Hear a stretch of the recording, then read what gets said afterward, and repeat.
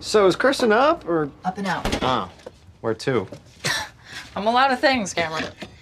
Blondie's Keeper is not one of them. Hmm. Speaking of, hmm. how are you and Kirsten? Oh. Did you guys, you know, do it? What are you, 12? I'm just saying. Yeah, be gentle. Kirsten's a virgin.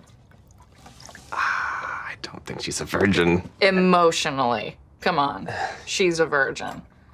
This is gonna be her first real relationship where she's connected and available, you know? I got it.